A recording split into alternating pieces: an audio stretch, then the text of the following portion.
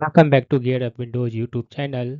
In this video, we will guide you on how to enable or disable snooze inactive tabs to save memory in Opera GX browser on Windows 11 or 10 PC.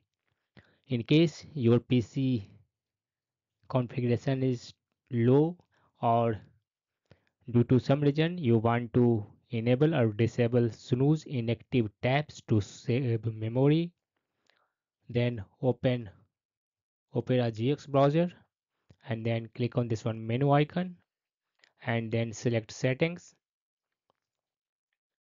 Under Opera GX settings, select this one browser option in the left sidebar. On the right, scroll a bit to find this one user interface section. Here you will find the option to snooze inactive tabs to save memory. This one option. Here you can enable or disable using this one toggle switch on your windows pc